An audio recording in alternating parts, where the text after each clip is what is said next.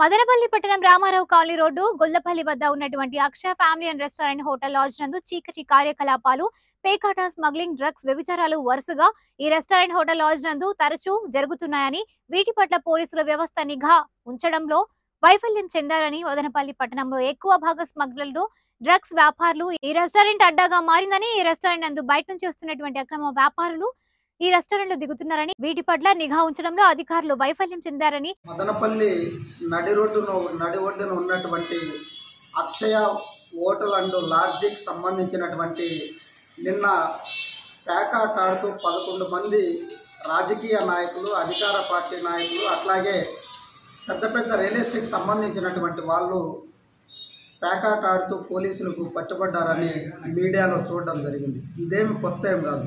అక్షయ హోటల్కి సంబంధించినటువంటి నిర్వాహకులు అక్కడ డ్రగ్స్ మిగతా చీకటి కార్యకలాపాలకు నిలయంగా అది మారిందని చాలా ఆరోపణలు వచ్చాయి.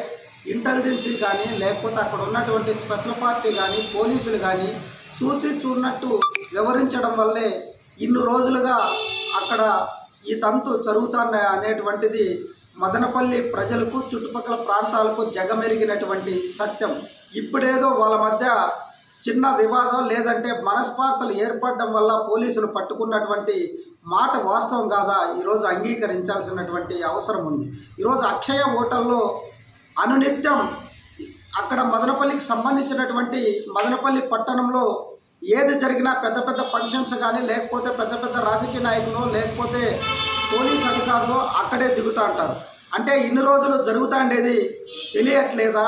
తెలిసి తెలియనట్టు వివరిస్తున్నారా? అర్థం కానటువంటి పరిస్థితి. వాటిపైన ఇప్పటికైనా నిఘా పెంచాల్సినటువంటి అవసరం ఉంది.